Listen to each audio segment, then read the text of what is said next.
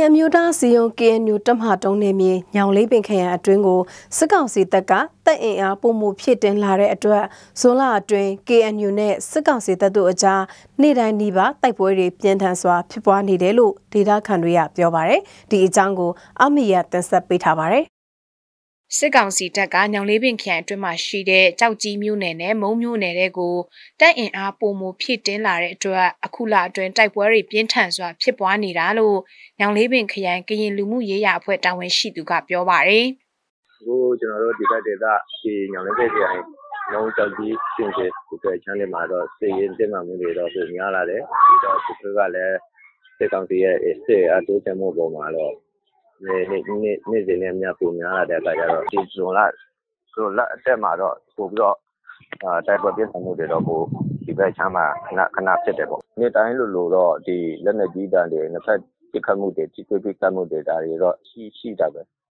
ညောင်လေးပင်ခရိုင်ထဲကိုစစ်ကောင်စီတပ်ကစစ်အင်အားဖြည့်တင်းလာတာကြောင့်တိုက်ပွဲတွေပိုပြင်းထန်လာတာလို့ဆိုကြပါတယ်။ဒီစစ်ရေးပဋိပက္ခအတွင်းမှာတော့ဒေသခံတွေကစစ်ဘေးလွတ်ရာကိုတိမ်းရှောင်နေကြရပြီးစားဝတ်နေရေးအပြင်တခြားသောအခက်အခဲအမျိုးမျိုးနဲ့လည်းကြုံတွေ့နေကြရတယ်လို့အကူအညီပေးနေသူတွေကပြောပါတယ်။ KNU တပ်မဟာ3ညောင်လေးပင်ခရိုင်ထဲမှာတိုက်ပွဲပြင်းထန်စွာဖြစ်ပွားနေတယ်လို့တခြား KNU လက်အောက်ခံတပ်မဟာအသီးသီးမှလည်းစစ်ကောင်စီတပ်ဘက်ကအင်အားဖြည့်တင်းလာနေတာကြောင့်တိုက်ပွဲတွေနေ့တိုင်းဆိုသလိုဖြစ်ပွားနေပါတယ်။လက်ရှိအနေအထားအရစစ်ကောင်စီတပ်ကတပ်အင်အားဖြည့်တင်းမှုတွေနဲ့အတူ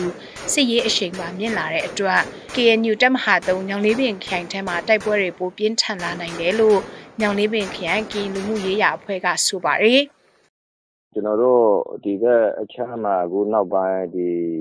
25 26 29အဲ့လိုနေ့တိုင်းလိုလိုတိုက်ပွဲတွေနည်းနည်းပြင်းထန်လာတဲ့အနေအထားရှိတဲ့အခါကျတော့စစ်အားတွေထပ်ထပ်တိုး တိုးလာတယ်ဒီဘက်မောင်းကနေပြီးတော့ကြောက်ကြီးဘက်ကိုလာတဲ့စစ်အားတိုးချက်တာတွေလည်းရှိသလိုကျောင်းကွန်းနံကုန်းဘက်ကနေပြီးတော့ဒီဘက်အချမ်းကို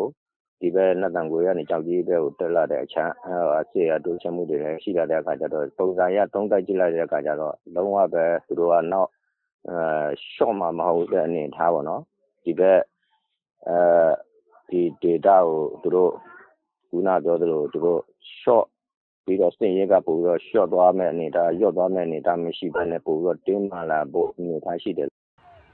2021ခုနှစ်ဖေဖော်ဝါရီလ1ရက်နေ့မှာစစ်တပ်ကအာဏာသိမ်းပြီးတဲ့နောက်တိုင်းသားပြည်နယ်တွေထဲမှာအာဏာသိမ်းမှုကိုဆန့်ကျင်တဲ့တိုင်းသားလက်နက်ကိုင်အဖွဲ့အစည်းတွေနဲ့စစ်ကောင်စီတပ်တို့အကြားစစ်ရေးတင်းမာမှုတွေနဲ့အတူတိုက်ပွဲတွေလည်းပြင်းထန်စွာဖြစ်ပွားလာခဲ့ပါတယ်။တိုက်ပွဲတွေကတိုင်းသားပြည်နယ်တွေထဲမှာတင်မကပဲ တိုင်းဒေသကြီးတွေမှာပါအာဏာသိမ်းမှုကိုစန့်ကျင်တဲ့လှုပ်ရှားမှုတွေကနေပေါ်ပေါက်လာခဲ့တဲ့အမျိုးသားညီညွတ်ရေးအစိုးရ NUG ကဖွဲ့စည်းပေးထားတဲ့ပြည်သူ့ကာကွယ်ရေးတပ်ဖွဲ့ PDF တွေနဲ့စစ်ကောင်စီတပ်တို့ကြားမှာလည်းဖြစ်ပွားနေတာကဒီနေ့အချိန်ထိဖြစ်ပါတယ်ရှင်။